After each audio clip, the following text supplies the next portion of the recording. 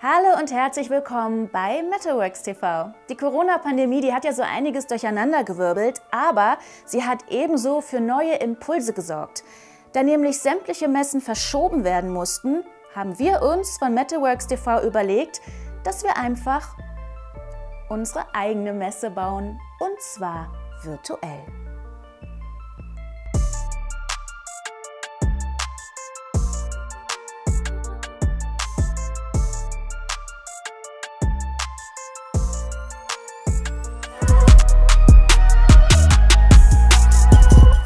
Mit der Website metalworks-messeonline.de haben wir eine Plattform erschaffen, auf der Firmen aus der Metallverarbeitung in Industrie und Handwerk ihre Produkte und Neuheiten ganz nach Belieben ausstellen können.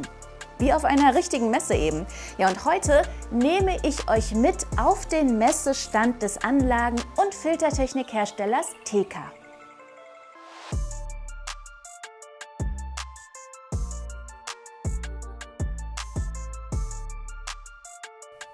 Wir sind jetzt auf dem TK Messestand und hier könnt ihr euch durch die verschiedenen Produkte durchklicken.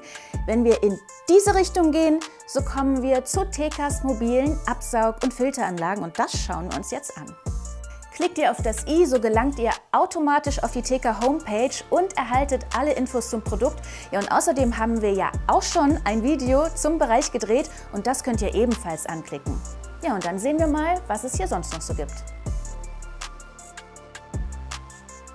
Hier in der Ecke steht die Vacuube, eine Hochvakuum-Absaug- und Filteranlage.